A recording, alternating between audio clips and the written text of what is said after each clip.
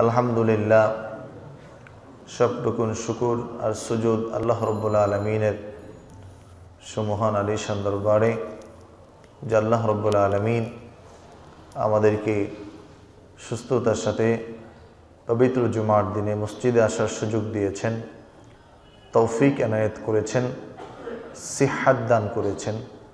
এজন্য সকলেই সুক্রিয়াতান পড়ুন আলহামদুলিল্লাহ। অসংখ্য অগণিত দুরুদ আর সালাম রসুল উল্লাহর প্রতি, যাকে আল্লাহ রব্বুল্লা আলমিন আমাদের জন্য নিয়ামত হিসেবে প্রেরণ করেছেন, যাকে আল্লাহ তালা গুণাগারদের জন্য সবচেয়ে বেশি প্রার্থনাকারী হিসাবে মঞ্জুর করেছেন, যাকে আল্লাহ তালা নেককারদের জন্য সর্বোত্তম বন্ধু হিসাবে মনোনীত করেছিলেন। সকলে পড়ুন সাল্লাহ আলিহি ওয়াসাল্লাম। মহতারাম, আল্লাহ তাবারকাওয়াত আলা আমাদেরকে মেহরবানি করেছেন, দয়া করেছেন, নেয়ামত দিয়েছেন আমাদেরও চিন্তার আধার আগ থেকে, আমাদেরও চাওয়ার আগ থেকে। একজন মানুষ যার হাজত প্রয়োজন। পৃথিবীর মানুষের নিসবাত হলো, যার প্রয়োজন সে কোনো এক ব্যক্তির কাছে চায়।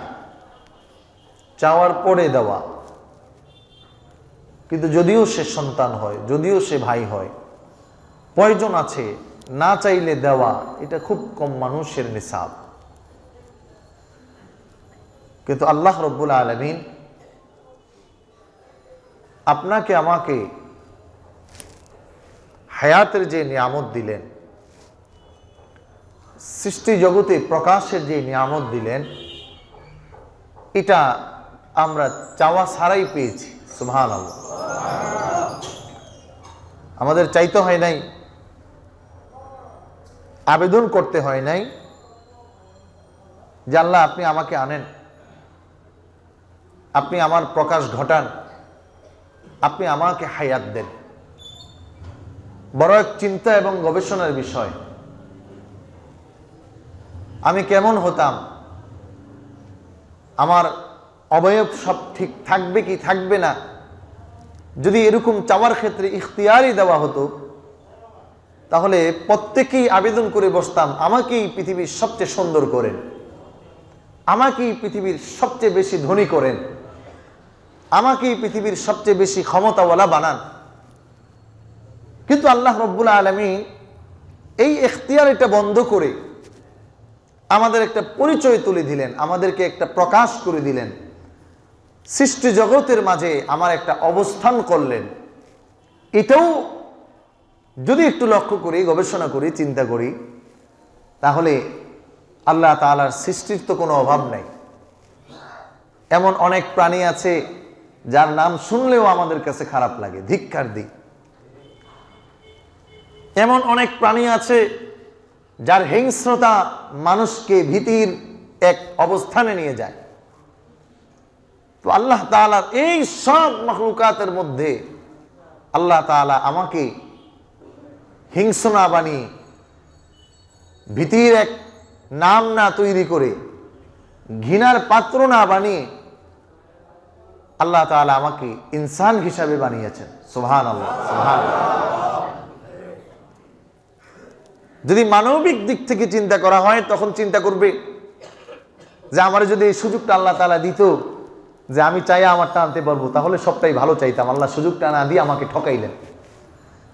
আর যদি একটু গভীর থেকে আল্লাহ তালার কি দেওয়া আছে আমার মধ্যে, এটা থেকে চিন্তা করি, তখন এই চিন্তাটা বের হবে। হায়, আল্লাহ তালা তো আমাকে কীট পতঙ্গ বানাতে পারতেন।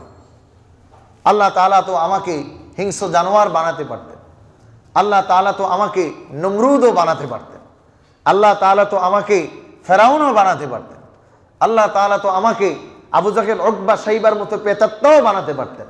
আল্লাহ তালা তো আমাকে বর্তমান আধুনিক বিশ্বের সবচেয়ে খারাপ মানুষদের মধ্যে একজন বানাতে পারতেন। আল্লাহ তালা তো আমাকে আমার সমাজের সবচেয়ে নিচু মানুষ বানাতে পারতেন। আল্লাহ তারা তো আমাকে সমাজের সবচেয়ে দরিদ্র, গরিব করে অপমান অবদস্ত করেও আমাকে রাখতে পারতেন। তো সব কিছুর পরেও আল্লাহ তাআলা আমাকে ইজ্জত দিলেন, আমাকে সম্মান দিলেন, আমাকে মানুষ করলেন, আমাকে সৌন্দর্য দিলেন, আমাকে অর্থবিত্তের মালিক করলেন, আমাকে সচলতা দান করলেন। এই নিয়ামতটুকু কত কম না বেশি? এজন্য যারা আল্লাহ তাআলার বুদ্ধিমান বান্দা, কোরআনে আসছে والراسخون في العلم يقولون آمنا به كل من عند ربنا আল্লাহ রব্বুল আলমিন বলে শোনব যেই মানুষগুলো আমার মতো করে বান্দা হিসাবে চিন্তা করেন আমি রবির কুদরত নিয়ে চিন্তা করেন এই মানুষগুলো হলো প্রকৃত জ্ঞানী ওর রসিখুন ফিল ইলম মানে জ্ঞানী তাদের অবস্থান অনেক উঁচু তারা চিন্তাটা কেমন করেন ইয়াকুলুনা আমান্না বিহি আমার আল্লাহ তালা তো আমাকে দেওয়ার ক্ষেত্রে আর কম দেন নাই। এই যে যেভাবে চিন্তা করলাম, তো আল্লাহ তালা যেহেতু এত কিছু আমাকে দিয়েছেন, তো আমান্না বিহি, আমি তার সব দেওয়ার উপরে ইমান এনে নিলাম, সুবহানাল্লাহ। তার কোনো প্রশ্নে আমার স্কাল নাই, তার কোনো চাওয়ায় আমার কোনো বাধা নাই, তার কোনো আদেশে আমার কোনো প্রশ্ন নাই। এই চিন্তা হবে কখন? যখন সে এরকম চিন্তা করবে। তখন এই কথাটা বলবে ইনদি সব তো আমার রব থেকে। আমার চাওয়া, আমার পাওয়া, আমার জীবন, আমার হায়াত, আমার সম্পদ, আমার সৌন্দর্য, আমার চাকরি, আমার বাকরি, আমার ইজ্জত, আমার আব্রু, আমার এলেম, আমার দাপট, আমার ক্ষমতা, তো ইয়াকুলুনা আমান্না বিহি, কুল্লুম মিন রাব্বিনা। সব তো আমার রব আমাকে দিল, তো আমি ওই রবের কাছে সিলিন্ডার হলাম বলে সুবহান এখন কেউ যদি চিন্তার মধ্যেই পরিশোধিত চিন্তা না হয় তখন সে চিন্তা করবে এই সব আমার এই সব আমার তখন তার চিন্তা হবে কি إن قارون كان من قوم موسى فبغى عليهم وآتيناه من الكنوز ما إن مفاتحه لتنوء بالعصبة أولي القوة আল্লাহ রব্বুল আলমিন জানায় শোনব ওই মানুষগুলোর চিন্তা হবে কেমন? ইন্না কারুনা কানা মিন কওমি মুসা ফাবাগা আলাইহিম। যখন আল্লাহর পয়গম্বর হযরত মুসা আলাইহিস সালাতু ওয়াস সালাম কারুনকে ডেকে বললেন, কারুন, এত সম্পদ তোমার, তুমি আল্লাহর জন্য কিছু ব্যয় করো। কারণ বলে, তাই নাকি? আমি তো এটা আমার এলিম দ্বারা অর্জন করেছি, আমি নিজে অর্জন করেছি। আমার এটা? আমি এটা আল্লাহকে দিব কেন? আলাইহিম। এত সম্পদ আল্লাহ রব্বুল আলামিন তাকে দান করেছিলেন। এত সম্পদ তাফসীরের মধ্যে আসছে। তার সম্পদের গুদামের চাবিগুলো গ্রহণ করার জন্য আঠারোটা উটের প্রয়োজন হতো। চাবি চাবি। মানে যেই গুদামে তার সম্পদ আছে, এই এত গুদাম ছিল, এটার চাবি বহন করতে এত যানবাহন লাগতো। আল্লাহ রব্বুল আলমিনের জন্য চাওয়া হলো, বললেন না এটা তো আমার এলেম দ্বারা আমি নিজে চেষ্টা করেছি, জেহাদ করেছি, পরিশ্রম করেছি। না খেয়ে থেকেছি, কত কিছু না করতে হয়েছে। আমার ভাইরা, আমার বন্ধুরা, আল্লাহ রব্বুল আলমিন এই জন্য বললেন, একজন ইমানদারের চিন্তাটা হবে কেমন? আমার ভাইরা, আমার বন্ধুরা এই জন্য যদি একটু আগে থেকে আপনি চিন্তা করেন, আল্লাহ রব্বুল আলমিন আপনাকে একটা হেডিং লাইন দিলেন সুরায় হজের মধ্যে। যেই মানুষগুলো চিন্তা করে পরবর্তীতে আর জীবনের কোনো হিসাব দেওয়া লাগবে না। আমার মতো করে আমি আমার জীবনটা পরিচালিত করে যাই। পরবর্তীতে আর আমাদেরকে জীবিত হতে হবে না। ওই মানুষগুলোকে আল্লাহ স্মরণ করালেন, চিন্তার পরিশোধন করো। তুমি এটা ভেবো না যে তোমাকে আর প্রশ্ন করা হবে না। তুমি এটাও ভেবো না যে তুমি আর কোনোদিন প্রশ্নের সম্মুখীন হবে না।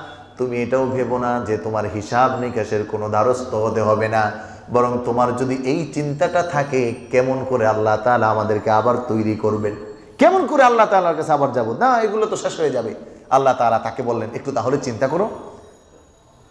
ইন্না ইন্না তুরাব। এবার একটু চিন্তা করো তো, তোমার জন্মটার মূল উৎপত্তি স্থলটা কোথায় ছিল? তোমাকে তো আমি আল্লাহ তাআলা মাটি থেকে বানাচ্ছি। সোহান আল্লাহ বলেন। তোমাকে আমি আল্লাহ তাআলা ইন্না খলাক না মিন তুরাব মাটি থেকে তৈরি করেছি। মুফাসসিরিনে কেরামগণ বলেন মাটির বিভিন্ন মাটির বিভিন্ন নির্যাস থেকে বিভিন্ন ফল, বিভিন্ন ফলাদি, বিভিন্ন সবজি, বিভিন্ন এই যে সমস্ত আঞ্জাম দিয়ে আমাদের খাবার তৈরি হয়। কি তৈরি হয়? খাবার। এই খাবার থেকেই আমাদের শরীরে ব্লাড তৈরি হয়। ব্লাড থেকেই আল্লাহ রব্বুল আলমিন একটা মর্জি তৈরি করে। এটা থেকে আল্লাহ তালা অন প্রসেসিং করে আল্লাহ তালা আমাদের পরিচায়িত ঘটিয়েছেন, আমাদের পরিচিতি এনেছেন। আল্লাহ তালা ডেকে বলতেছেন, একটু ভাবো।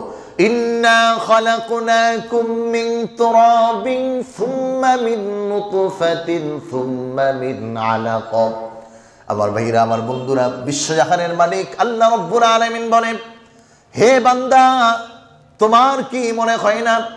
তোমার কি যেখানে ধরে না? তোমার কি চিন্তায় আসে না? তোমাকে আমি আল্লাহ তাআলা কি থেকে তৈরি করলাম? মাটির মধ্য থেকে বিভিন্ন প্রসেস করে, ইন্না খলাকনাকুম না তুরাবিন সুম্মা মিন নুতফা। আমি তোমাকে নুতফা বানালাম। নুতফা হলো একটা অপবিত্র পানি জাতীয় ফোঁটা, যেটাকে আমরা মসি বলি বা স্বাভাবিকভাবে আমরা পরিচিত যেটা বীর্য হিসাবে। আল্লাহ তাআলা এই নুৎফা শব্দ ব্যবহার করলেন, যে একটা অপবিত্র পানি জাতীয় থেকে আমি তোমার উৎপত্তি স্থল করেছি। আর এখন এসে আমার আদেশ, আমার নিষেধ, আমার কথা, আমার বার্তা, আমার কিছু তোমার কাছে ভালো লাগে না। তুমি তোমার মতো মনে করতেছো। আবার এটাও চিন্তা হয় যে আর মনে হয় দাঁড়াতেও হবে না। এই চিন্তার, এই গবেষণার, এই কথা বলার মানুষ পৃথিবীতে আসে না নাই? কেন বলে? মূল কারণ হলো তার চিন্তাটা ওভাবে হয় নাই। আল্লাহ তাআলা বলেন, মিন সুম্মা মিন আলাকাম। ভ্রূণ তথ্য দিলেন আল্লাহ পৃথিবীর মানুষগুলো বিজ্ঞান আজকে আবিষ্কার করে পেয়ে গেল, হা, পৃথিবীর এমন কোনো মেকার নাই। ডারউইনের মতবাদ যে নিজে তৈরি করেছে, সেও জানে যে এভাবে করে মানুষ হওয়া সম্ভব না। ব্যাংক থেকে বানর হবে, বানর হয়ে শিখপাঞ্জি হয়ে মানুষ হবে, এটা সম্ভব? যদি সম্ভব হতো, তাহলে এখন আর হয় না কেন?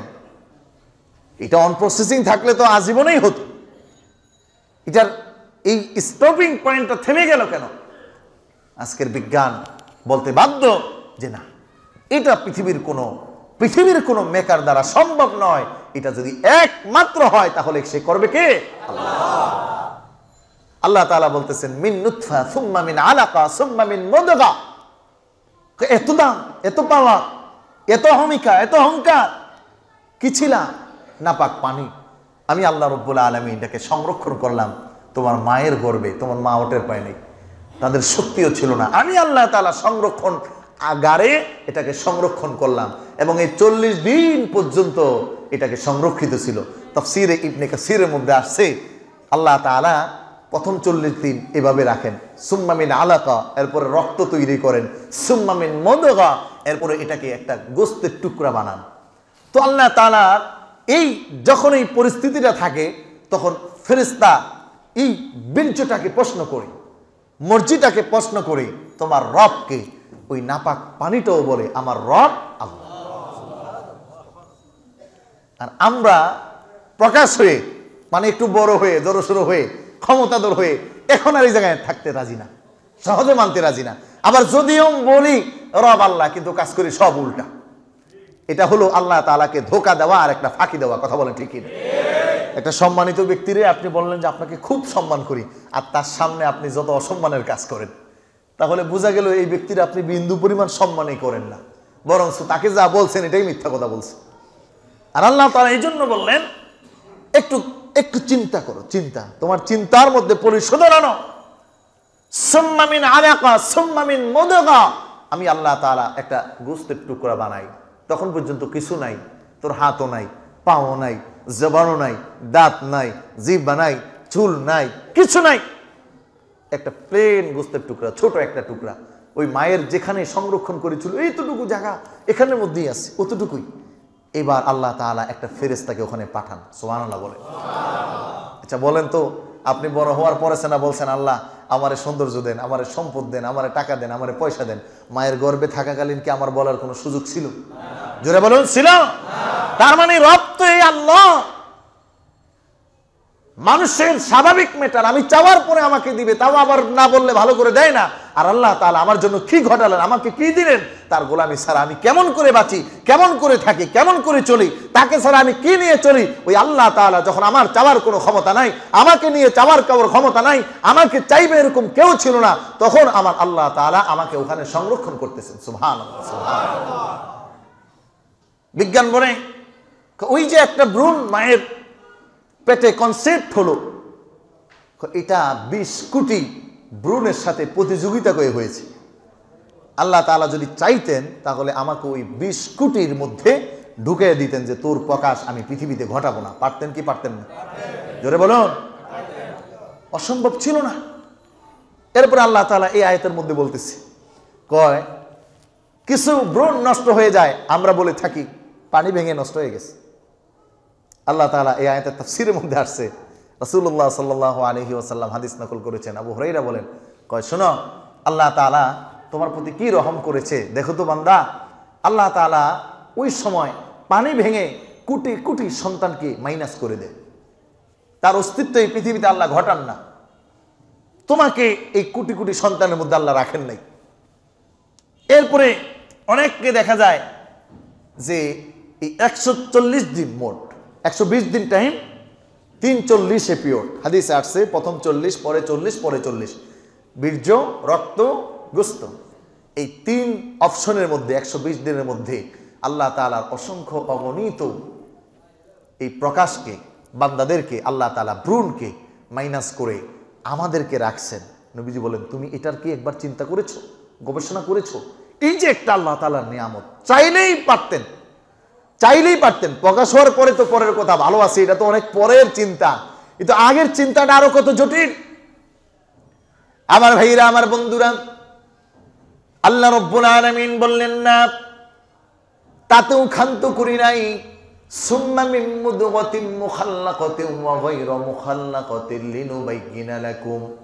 আমি রব্বুল আলামিন সৃষ্টির বৈপরীত্য ওখানের মধ্যেই দিয়েছিলাম। ফেরেস্তা বলেছে, আমার নাকটা কেমন হবে? তোর নাকটা আমি আল্লাহ তাআলা ডিজাইন করেছি, আমার পছন্দ মতো। ফেরেস্তা জিজ্ঞাসা করে, মানিক হ্যাঁ হাত দুটো ঠিক মতো হবে কিনা? আমি আল্লাহ রব্বুল আলামিন বলেছি, হা, আমার বান্দা, আমি রবের কাছে হাত তুলবে, হাত দুটো ঠিক মতো দে, কম করিস না। ফেরেস্তা প্রশ্ন করেছে, রব মালিক আপনার বান্দার জবানটা ঠিক মতো হবে কিনা? আপনার বান্দার অবয়বটা কেমন হবে? কি কি দিব? কেমন করে দিব? আমি রব্বুল আলামিন স্বয়ং নিজে তোর আকৃতি দানকারী, আমার পছন্দ মতো দিছি। আল্লাহ আকবার, আল্লাহ আরে আমার আমার সামনে তো তুই একটু নমনীয় তো হবি। তুই একটু চিন্তা করি, এটা কে দিবে তোরে? সব আমি আল্লাহ তাআলা দিলাম। সূরা আল ইমরান আসছে, হুয়াল্লাযী ইউসাউমিরুকুম ফিল আরহামি কাইফা ইয়াশা। পৃথিবীর কোনো প্রিন্টার আমাকে করেন নাই। অথচ আজকে আমি পৃথিবীর মানুষের কাছে আমাকে নত করি, কিন্তু আমার যে মূল মেকার যে আমাকে তৈরি করলেন, এত সুন্দর করে, এত সুন্দর করে, এত সুন্দর করে, আহা! এই এই মেকারের কাছে আমি দ্বারস্থ হই না। এই মেকারের কথায় আমার কিছু আসেও যায় না, যেমন জীবনটা এরকম চালাচ্ছি। আমার ভাইরা, আমার বন্ধুরা আল্লাহ বলেন, পরে সুম্মা নুখরিজুকুম তিফলান সুম্মা লিতাবলুগু আশুদ্দাকুম সুম্মা লিতাকুনু শুয়ুখা। বন্ধুরা, আমার আল্লাহ রব্বুল আলামিন বলে, শোন, মায়ের গর্বে তোকে রাখলাম। ফিজুল মাতিন সালাস। ব্যাপক কথা, দীর্ঘ আলোচনা। আল্লাহ তাআলা মায়ের গর্বে তিনটা স্তর আমাকে হেফাজত করলেন। কোনোভাবে যেন আমি আচর খেয়ে নষ্ট না হয়ে যাই। কোনোভাবে যেন আমার কোনো ক্ষতি না হয়ে যায়। ওই জায়গায় কারও কোনো ক্ষমতা ছিল না আমাকে বাঁচানোর, কারও কোনো পাওয়ার ছিল না আমাকে দেখার। আল্লাহ রব্বুল আলমিন ফেরেস্তাকে বললেন, তুই আসিস না। ও তো আমার প্রিয় বান্দা। তার কাছে থাক ডিউটি তোর, তাকে হেফাজত রাখ, দেখে শুনে রাখ। হাদিসের মধ্যে আসছে, আমার ভাইরা, আমার বন্ধুরা, বিশ্বনবী মোহাম্মদুর রসুল্লাহ সাল্লাল্লাহু আলাইহি ওয়াসাল্লাম বলে যখন এই সন্তানটা একটু একটু করে বড় হতে থাকে, আল্লাহ রব্বুল আলমিনের কাছে ওই ফেরেস্তা যখন হাত পা তৈরি করে তখন চারটা বিষয়ের আদেশ চায়। আল্লাহ তাআলা আপনার এই বান্দাটা কেমন হবে, ভালো না মন্দ হবে একটু বলেন। এই বান্দাটার বয়স কতদিন হবে একটু বলে দেন। এই বান্দাটার রিজিক কতদিন থাকবে তা একটু বলে দেন। এই বান্দাটা সৌভাগ্যশীল হবে না দুর্ভাগ্যশীল হবে সব কিছু বলে দেন। ওই জায়গায় ফাইনাল। আমার ভাইরা, আমার বন্ধুরা, এই হাদিসের মাধ্যমে আবার অনেক ভাইরা বলে, তাহলে যা হওয়ার তো তা হয়েই গেছে। তাইলে আর আমরা এখন দোয়া করে কি লাভ? প্রশ্ন আসে কিনা? যে ওই জায়গায় তো আমার লিখে দিছে। আর কিছু দরকার নাই। আমার তো ভালো মন্দ সব আছে ওই জায়গায়। তাহলে আমি আকাম কুকাম যা করি, সব তো আগে লেখাই আছে। কিন্তু আল্লাহর হাবিব সাল্লাহ আলী আসাল্লাম অন্য হাদিস দিয়ে এই কথা যারা বলে, তাদের মুখকে বন্ধ করে দিছে। সোমান আল্লাহ বলে এই কথা বলার কোনো সুযোগ নাই। তাকদীরকে পরিবর্তনের তিনটি মাত্রা? একটা হলো দোয়ার মাধ্যমে। আপনার চেষ্টা, আপনার সাধনা, আপনার গবেষণা একটা জিরো থেকে। যে ছেলেটা আগে ইঞ্জিনিয়ার ছিল না, পড়তে পড়তে পড়তে, পড়া পারে না পারে না, পড়তে পড়তে পড়তে ইঞ্জিনিয়ার হয় না? গবেষক হয় না? তার মানে সে যদি চিন্তা করতো, না, আমার দিয়ে আর হবে না, যা করার তত করেই দিচ্ছে থাক, আমি পড়ে থাকি। তাহলে ইঞ্জিনিয়ার আর ডাক্তার, সে জীবনে হওয়ার সম্ভব ছিল না। এই জন্য একজন মমি সেটা বিপদে আল্লাহ তালাকে বলবে চাইবে আল্লাহ তালার কাছে, পরিবর্তনের জন্য দোয়া করবেন। কারণ আমি তো জানি না আমার জন্য কি ফাইনাল হয়েছে। ওখানে যে আমার নামে কি বরাদ্দ হয়েছে এটা তো আমি জানি না। তাহলে এক অজানা অদৃশ্যের উপরে আমি আছি, সব আল্লাহ তালার কাছে। ফেরেস্তা করছে, আল্লাহ জানে, আর তো কেউ খবর রাখে না। এখন আল্লাহ তালা যদি আমার এগুলো সব আবার ঘুরিয়ে মুড়িয়ে চেঞ্জ করে দেয়, ওই জায়গায় তো কারও কোনো বলার এই ক্ষমতা নাই। আল্লাহ, আপনি এটা করছেন কে? কি বলার ক্ষমতা আছে? বলেন, আছে? এই জন্য এই কথা বলার কোনো সুযোগ নাই, যা করার তা করেই দিছে। আমাদের দেশে কিছু ভাইরা এরকম বলেন নাসার পুতুল যেমনে নাচায়, তেমনে নাচি। মানে আল্লাহ তালাই তো আমার পাপ করায়, আল্লাহ তালাই তো আমার নামাজ পড়ার সুযোগ দেয় না। আল্লাহ তালাই তো আমার ব্যবসার মধ্যে ঝামেলা ফালে রাখছে। আল্লাহ তালাই তো আমার দিন দুনিয়ার সব খবর জানেন, মানেন। তার ক্ষমতা ছাড়া তো কিছু হয় না। তাহলে আমার কি দোষ? কি বলেন, এই কথা বলার সুযোগ আসেনি?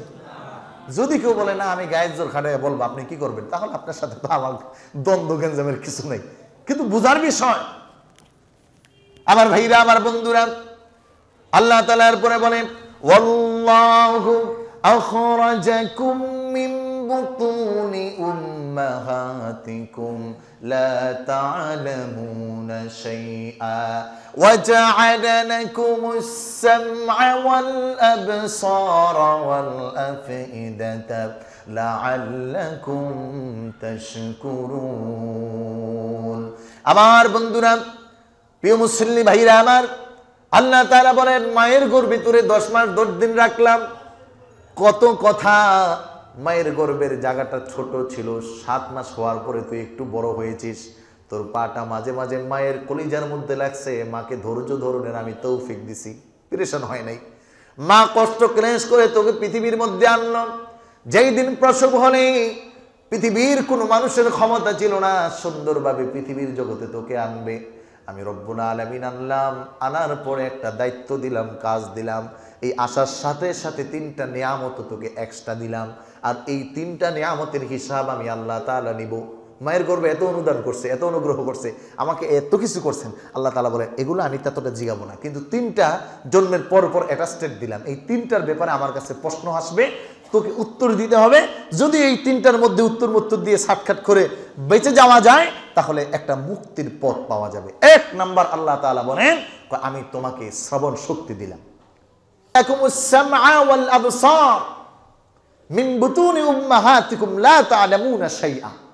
আমি তোকে যখন মায়ের গর্ভ থেকে বের করলাম, পৃথিবীর কিছু কিছু বুঝার ক্ষমতা তোমার ছিল না। কোনো কিছু করার ক্ষমতা তোমার ছিল না।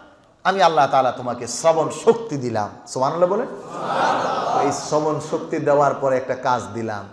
জন্মের পর পর তাড়াতাড়ি ওই আল্লাহ তালার একটা মেসেজ তোর কানে ঢুকিয়ে দেওয়া যে আল্লাহ তাআলা তোকে মায়ের গর্ভ থেকে শুরু করে মাটি থেকে শুরু করে এ পর্যন্ত পুরা রাস্তা নিরাপদ সফরে এনে দিয়েছেন বলে সুবহান এখন দুর্ভাগ্যের কথা হলো সিজারে এমন অনেক সন্তান হয়ে যাচ্ছে যার কানে আজান দেওয়া হয় না।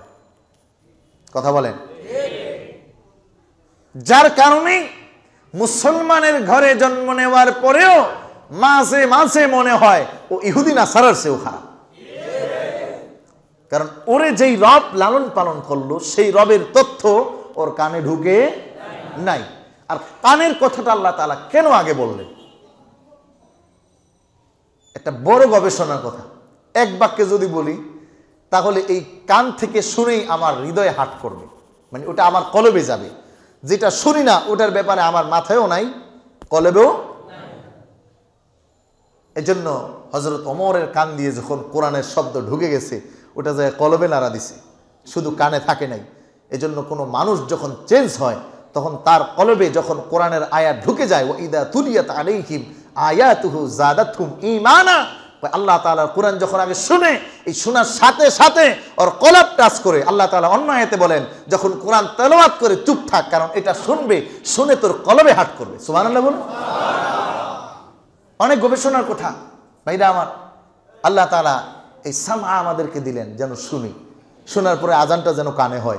কিন্তু দুর্ভাগ্যবশত আজকে আমাদের মিসফেল যারা হচ্ছে, আমার যে সন্তানগুলো, মিস্টেক হচ্ছে আল্লাহ তালার নাম থেকে দূরে থাকতেছে। এরাই কিন্তু সমাজের জন্য ত্রাস আর এরাই কিন্তু সমাজের জন্য বড় ভয়ঙ্কর এবং ভয়ের কারণ হয়ে দাঁড়াচ্ছে কথা বলে ঠিক কি? এই ক্ষেত্রে বলতে চাই করোনা ভাইরাসে তিরানব্বই হাজার শিশু উইদাউট সিজারে জন্ম নিচ্ছে তার মানে এখনও উইদাউট সিজারে জন্ম নেওয়ার পরিস্থিতি আমাদের শেষ হয়ে যায় না কিন্তু আমরা ইচ্ছা করেই দ্রুত চাই। এখন আমার কথা হলো, আমার সন্তানটা যদি কোনোভাবে করে, জন্ম হওয়ার পরে অনেক সময় কত restriction দিয়ে কোনো মতে দেরি করায়। কিন্তু এই দেরি করানোটা বিন্দু মাত্র ঠিক না আর জন্ম হওয়ার পরপরই শয়তান ওই সন্তানের উপর আসর করে। আজান দেওয়ার সাথে সাথে ও ওই শয়তান থেকে মুক্ত হয়। সুহান আল্লাহ সুহান এই জন্য আল্লাহ তারা বলেন, এই নিয়ামতটা আমি দিছি, এটার হিসাবও নিব। কেন দিছি জানো? এই কানটা যেন নষ্ট না করো। এই কানটা দিয়ে যেন আমার কথাগুলো শুনো, আমার তলবারটা শুনো। যদি খালি শুনোস, নাও পারস। তাও সব পাবি সুহান কোরআন তলাত আমি পারি না, কিন্তু কোরআন তলাত আমি শুনি। যে পরে দশ নাকি পাইলো, আমি শুনে শুনেও দশ নাকি পাইলাম। মানে প্রত্যেকটার সাথে প্রত্যেকটার একটা সম্পর্কিত বিষয়। এরপরে আল্লাহ তাআলা বললেন, ওয়াল আমি তোকে দৃষ্টি শক্তি দিছি। কি দিছি ভাই? চোখের শক্তি। এই চোখের শক্তি কত বড় নিয়ামত? কয়, কোরআন জবানে পারে না। শোনারও কোনো সুযোগ নেই। এই চোখ দিয়ে শুধু যদি ভালো যা আছে তার দিকে তাকায়, তা অনেক হতে থাকে। সুহান সুহান কোরআনের দিকে তাকাইছেন এই জন্য অনেকের বাসায় কোরআন শিব পড়ে আছে এক বছর যাবত পড়তেও পারেন না, ধরারও সুযোগ পান না। এদের জন্য নসিহত। আপনি ভোরাত্রে উঠে উঠে নামাজের পরে কোরআনটা খুলে দেখবেন, তাকাবেন। আর মনে মনে একটা আফসোস, আল্লাহ, আপনি এত দামি একটা সম্পদ দিচ্ছেন দেখার, কিন্তু কত মানুষ দেখে দেখে কোরআন পারে, আমি তাও পারি না। আল্লাহ একটা আবেদন আমি তো পারি না কিন্তু মায়া নিয়ে মহাব্বত নিয়ে আপনার সুবহানাল্লাহ, সুবহানাল্লাহ। আর এটা বলে যদি চোখের পানি ছাড়া যায় আল্লাহর কসম। এই বান্দার আল্লাহ জাহান নামে দিতে পারবেন চোখ সাক্ষী দিবে। যে পারে নাই তবে আমাকে দেখছে তো আল্লাহ। এখন আমরা ফিক্সড ডিপোজিট করে ফেলছি। আমাদের চোখ চব্বিশ ঘণ্টার মধ্যে বারো ঘণ্টা খালি মোবাইলের দিকে তাকিয়ে থাকবে। কথা বলেন না? চিন্তা করেন, আল্লাহ তাআলা কীভাবে কি দিলেন, কি করার জন্য, আর আমি কি করতেছি? এখন এই যে চিন্তার একটা থিংস আপনি আগের থেকে এভাবে করে একটু বুঝে বুঝে আসা যে আল্লাহ কীভাবে কীভাবে, কেন কেন, কি কি দিলেন, এই চিন্তাটা আমাদের যদি না আসে, তাহলে এটা দাম তো আমরা দিতে পারব না, বুঝব না। অথচ এই চোখ দিয়েই আমরা দুনিয়ার যত নিষেধ কাজ আছে আল্লাহ তালা সব করতেছি। এই জন্য আল্লাহ তালা বলছেন, তিনটা নিয়ামত, এটা দাম বেশি, হিসাবও বেশি। শ্রবণ শক্তি, প্রথম নিয়ামত। এটার আগে কোনো নিয়ামত আল্লাহ দেন নাই। আর যা দিচ্ছেন ওগুলারে বলছেন, ঠিক আছে, ওগুলা ফ্রি সার্ভিস দিন কিন্তু এই তিনটার হিসাব কিন্তু আমাকে দিয়ে যাবি রে। কি কি শুনছো? সারা জীবনে তোর কানে যা ঢুকছে, ওটার হিসাব দে। সারা জীবনে তোমার চোখে যা দেখে দেখে তুমি করেছ, এটার হিসাব দাও। কি ভালো করলা, কি মন্দ করলা। ওয়াল আপ ইদা তিন নম্বরে আল্লাহ তালা বলতেছেন তোর একটা ব্রেন দিছি আমি, বুঝার মতো ক্ষমতা। কলবে বুঝবি যে আসলে এটা ভালো, এটা মন্দ, এটা সুন্দর, এটা অসুন্দর, এটা খারাপ, এটা উপকার এটা উপকার। এই বিষয়গুলো বুঝার জন্য কিন্তু তুই বুঝস না। তুমি খালি দুনিয়ার যত খারাপ কিছু আছে ওইটাই বুঝো। তোমার পক্ষে যা আছে তাই খালি বুঝো।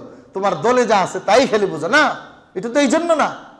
স্বাভাবিকভাবেই মনে করেন, গতকালকে একজন আমাকে প্রশ্ন করল, হুজুর, নামাজের মধ্যে দাঁড়ায়া, দাঁড়ানো জায়গা থেকে যদি দূরে যায়া কেউ কলিং বেল টিপ দিছে আর দরজা খুলে এসে আবার নামাজে দাঁড়ায়, তাহলে নামাজ তো হবে না। উনি উত্তর দিতেছেন জেনারেল মানুষ। আমি বললাম, না, নামাজ হবে না। বলতেছে, হুজুর, আমিও এটা বুঝতেছিলাম। আমি বললাম, এই বুঝটা আপনাকে আল্লাহ তালা দিয়ে দিয়েছেন। মানে স্বাভাবিক একটা যে বুঝ, এইটা বুঝার জন্য কোনো পড়াশোনা দরকার নাই। এই বুঝটা প্রত্যেকের মধ্যে আস আপনি বলবেন, হুজুর, আমি হয়তো গবেষণা করে বুঝি না। কিন্তু খারাপ জিনিসটা যে খারাপ, এইটা তো গবেষণা করে বোঝার দরকার হয় না। কথা বলেন।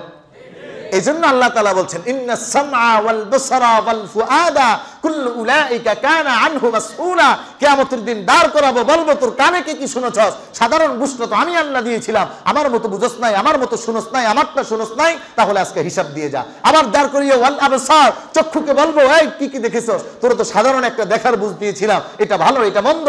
তো আমার মতো যেহেতু করস নাই, আজকে এটার হিসাব দিয়ে যা। এরপরে আল্লাহ তাআলা বলবেন যে, তোমার মতো একটা জ্ঞান তো দিয়েছিলাম। এটা ভালো, এটা মন্দ। এই দল ভালো, এই দল খারাপ। এই হুজুর ভালো, এই হুজুর মন্দ। এই মুফতি সাহেব ঠিক ফতুয়া দিল, ওই মুফতি সাহেব ঠিক ফতুয়া দিল না। এই দলের মানুষ বেশি খারাপ করে, ওই দলের মানুষ বেশি খারাপ করে। সমাজে এই লোকটা খালি খারাপ লোকদের সাথে চলাফেরা করে আর খারাপ কাজ কাজ করে। এই লোকটা করে না, এই লোকটা ভালো নামাজ পড়ে। এই বুঝটা বোঝার জন্য তো এমপিবিএস ডাক্তার, এমপিল গবেষক, বড় ইঞ্জিনিয়ার, বড় পণ্ডিত, বড় আলেম, মুফতি, মহাদ্দেশ কিছু হওয়া দরকার আছে? আল্লাহ তালা এটা বুঝাচ্ছেন। যে এইটা তুমি নিজে নিজে বুঝো, যার কারণে এই তিনটার হিসাব আমি তোমার থেকে ডাইরেক্ট কোনো কথা নাই। আল্লাহ আকবার আল্লাহ আকবার। কেয়ামতের দিন আল্লাহ তাআলা আমার জবান বন্ধ করে দিবেন। হাতকে বলবেন, কথা বল। ইয়াউমা তাশহাদু আলাইহিম আলসিনাতুহুম আইদিহিম আরজুলুহুম বিমা কানু তা আমার হাত বলবে হ্যাঁ ও জুলুম করেছে। বাস, পাকড়াও করো। পাকে বলবে, কথা বল। পা বলবে হ্যাঁ ও জুলুম করেছে, পাকড়াও করো। জিব্বা বন্ধ, সুযোগ নাই তো। সব স্তব্ধ আল্লাহ তাআলার ওই কঠিন সামনে আপনার আমার জবাবদিহিতার জায়গাটাকে আল্লাহ তাআলা ইনরিচ করতে গিয়ে আল্লাহ তাআলা আমাদেরকে এই গবেষণা তথ্য দিলেন, তোমার জন্মের ফুল ম্যাটারটা তুমি বুঝো। এরপরে আল্লাহ তাআলা আমাকে জন্ম দেওয়ার পরে মায়ের গর্ভ থেকে আসলাম। কিছু নাই। কয় আল্লাহুল্লাদি খালাকাকুম মিন দুরফিন কয়, তোকে তৈরি করেছি, পৃথিবীতে আগমন ঘটাইছি, দুর্বল, কিছু পারস না। লড়তে চড়তে পারস না উঠে পড়ে যাস। কি বলেন? এরকম আমাদের ছিল না একটা সময়? আহা, আমাদের সন্তানদেরকে দেখি। চিন্তা প্রত্যেকটা জায়গায় এই রবের যে রূপবিজ্ঞাত আমার সাথে লেগে আছে, আমার কর্মে আছে, আমার জীবনের প্রত্যেকটা সেকেন্ডে সেকেন্ডে আছে, এটা আমাকে চিন্তা করা দরকার। তাহলেই তো আমি আর মন্দ কাজে যেতে পারব না। তাহলেই তো আমার মধ্যে ভালো চিন্তাটা ঢুকে যাবে অটোমেটিক আল্লাহ তাআলা বলতেছেন, মিন দুফিন থুম্মা জাআলা মিন বাদি দুফিন কুওয়াতান থুম্মা জাআলা মিন বাদি কুওয়াতিন দুফান ওয়া শাইবা। এই দুর্বল অবস্থা থেকে তোকে আমি সবল করছি। এই সবল অবস্থায় অনেকে বিদায় নেয়। হায়াত শেষ, মরে গেছে। সবল যখন আমার ছোটকাল থেকে আমাকে একটু বড় করছেন আল্লাহ তাআলা, একটু যৌবনে যখন আসছি তখন পুরা সবল। কে পায় আমার? আল্লাহ তাআলা বলতেছেন, এই সময়ে অনেকের বিদায় হয়, তুমি এই চিন্তাটাও করো। আবার কেউ বা এই সবলতা থেকে আবার দুর্বলতায় পদার্পণ করে। বৃদ্ধ হয়ে যায়, এখন আর আগের মতো শক্তি নাই, এখন আর আগের মতো নামাজ নাই। এখন আর আগের মতো রোজা পড়তে না। এখন আর আগের মতো জুলুমও করতে পারে না। সব বন্ধ হয়ে গেছে। কারণ দুর্বল হয়ে গেছে আবার। আল্লাহ তালা এই আয়তে বলতেছেন এই দুর্বল, সবল, দুর্বল, এই তিনটা স্তরের তোর মাথায় রাখ। যে আল্লাহ তালাই তো আমাকে সবল করলেন। তাহলে এই সময় আল্লাহ তালাকে বোঝা যাবে না। এই ক্ষেত্রে সে রাসুল্লাহ সাল্লাহ আলী সাল্লাম সাহাবিদের কাছে একটা হাদিস নকল করেছেন। চল্লিশ, এক হাদিস আসছে চল্লিশ, আরেক হাদিস আসছে পঁয়তাল্লিশ, আরেক হাদিস আসছে ষাট। যখন এই মেটার মানুষের বয়স হয়ে যায় ওই সবল সময়ে যদি এই লোকটা নামাজ পড়ে, এই লোকটা রোজা করে, এই লোকটা হজ করে, এই লোকটা জাকাত দেয়, এই লোকটা মুসিবত থেকে আল্লাহ তালা কাছে পানা চায়, এই লোকটা সৎকা করে, তাহলে এই পঁয়তাল্লিশ বছরের পরের সময়টা তখন আর আগের মতো তো পারে না। তখন আল্লাহ তালা ওই সবলে যা যা করছে, এই দুর্বল অবস্থায় মানে শেষের দুর্বল অবস্থায় তা তা আল্লাহ তালা আমল নামায় উঠিয়ে দেয়। তার মানে পুরাটা জীবনে আমাকে রহমতের চাদর দিয়ে আল্লাহ তালা ঢাকলেন। কিন্তু আমার ফিকির নাই, আমার চিন্তাও নেই। আমার কোনো গবেষণা নাই, আমার কোনো টেনশনও নাই। মনে করতেছি, হেলায় খেলায় যাচ্ছে তো দিন, চলছে চলছে, কি করা কিন্তু আল্লাহ রব্বুল আলমিন বললেন, কামা বাদা না আউ্লা খালকিন তোমাকে অনুরূপ ভাবে আবার আমি আল্লাহ রব্বুল আলমিন জীবিত করব, তখন এই প্রত্যেকটার হিসাব আমি আল্লাহ তালা নিব। ছোট্ট বয়স কত স্যাক্রিফাইস আল্লাহ করেন। ছোট থেকে বারো বছর পর্যন্ত কোনো কাজের হিসাব এটাও ছাড়লাম। তো সবল হতে সময় দিলাম। তখন দুর্বল আছো? তো এই বারো বছর পর্যন্ত তোর আমলের কোনো হিসাব আমি আল্লাহ তালা নিব না। বারো বছর থেকে যদি আপনি একটু হিসাব করেন পঞ্চাশ, তাহলে দশ থেকে পঞ্চাশ, সমস্ত জীবনে চল্লিশ বছর। পঞ্চাশের পরে গেলে তো আবার আমি ভালো কাজ যা করতেছি, ওটা অটোমেটিক উঠার রাস্তা আছে। সুমান আল্লাহ বলেন। আগেও স্যার, পরেও স্যার, মাঝখানে একটু সময়। এতটুকু যদি আল্লাহ তালার সাথে আমার সময় না হয়, এতটুকু যদি আল্লাহ তালার মতো আমার জীবন না চলে, এতটুকু যদি আল্লাহ তালার মতো আমার চিন্তা না হয়, তাহলে আল্লাহ তালা আমাকে কি জান্নাত দিবেন? তো আমি কীভাবে চাই ভাই? একটু মিলান আপনি পুরো সময়। এর মাঝে আরও কত সময় তো আছে? আহারে। আহারে, আমাদের জীবনের সময় প্রতিনিয়ত চব্বিশ ঘণ্টার মিনিমাম ধরেন ছয় ঘণ্টা ঘুমে শেষ।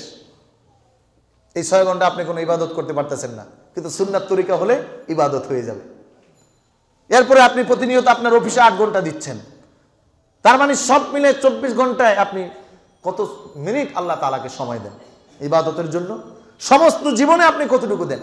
প্রতিদিন যদি এক ঘণ্টা হয়, তাহলে বৎসরে মাত্র তিনশো পঁয়ষট্টি ঘণ্টা। আর বাকি কত সিংহভাগ সময় আমি কিন্তু আমার মতো চলতেছি। আমার ইখতিয়ার আল্লাহ তালা দিয়েছে। আল্লাহ তালা বলতেছেন, এই সময়টাতে আমার একটু উসুল মান, আমার নিয়ম মান, আমার আদেশ মান, আমার নিষেধ মান। এটা কি বড় বেশি চাওয়া হয়ে গেছে আল্লাহ তালা থেকে বলেন? আমাদের থেকে আল্লাহ তালা এত কিছু আমাদেরকে দিলেন, এখন এতটুকু সময়ের মধ্যে আল্লাহ তালা তার মতো করে চাইলেন, এটা কি একজন রব হিসাবে, একজন খালেক হিসাবে, একজন মালিক হিসাবে খুব বেশি চেয়েছেন? এই চিন্তাটা আমরা করা দরকার। যখন করব তখন দেখবেন আপনার আমলে সময় দিতে মন চাবে, ভালো কাজে সময় দিতে মন চাবে, খারাপ কাজ, খারাপ চিন্তা মাথায় কম ঢুকবে। এভাবে করে চিন্তা যদি না করতে পারেন, তাহলে না। আর এক হাদিসে আসছে, এই চিন্তা করা, এটা অনেক বড় দামি জিনিস। যখন আপনি প্রতিদিন ঘুমাতে গিয়ে এই চিন্তাটা করবেন, রাসুলের এক হাদিসে আসছে যে হ্যাঁ তুমি যখন রাতে ঘুমাতে যাবা, তখন সারাদিনের কর্মের হিসাব করো। তুমি তোমার নিজের কর্মের হিসাব করো যে, আজকে আমি কত সেকেন্ড রবের মতো করলাম, কত সেকেন্ড আমার মতো করলাম।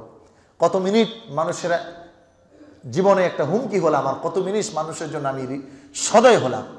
এভাবে করে একটা চিন্তা আমার থাকা দরকার। প্রতিদিন একটা রুটিন আমার হওয়া দরকার। তাহলে আমার এই যে সব নিয়ামতের একটা সুক্রিয়া এটা আল্লাহ তালার কাছে বলতে পারব যে, আল্লাহ, আমরা চেষ্টা করেছিলাম, আমাদের সাধ্যের বাহিরে ছিল। যেটা বাহিরে ছিল, এটা তো পারি নাই। কিন্তু আপনি এত কিছু দিছেন, এত কিছু দিছেন, এত কিছুর হিসাব আপনি নেন নাই, যতটুকু দিছেন, এর মধ্যে এতটুকু আমি চেষ্টা করেছি। একটা ফল আমাদের আসা দরকার আছে না নাই? বলেন। আলোচনা, আজকেরটা গবেষণা ধর্মী। এই জন্য একটু এই চিন্তাটা আমাদের করা দরকার। আমরা করব না ইনশাল্লাহ আল্লাহ তালা আমাদের প্রত্যেককে এরকম চিন্তা করে আমাদের জীবনকে চালানোর তৌফিক দান করুক, বলুন আমিন। আমার তৌফিক ইল্লা বিল্লাহ। আসসালামু আলাইকুম ওরহমতুল্লাহি আবরকাত যারা পরে আসছে, যারা কাত কাবলা জমা দেয় করেন।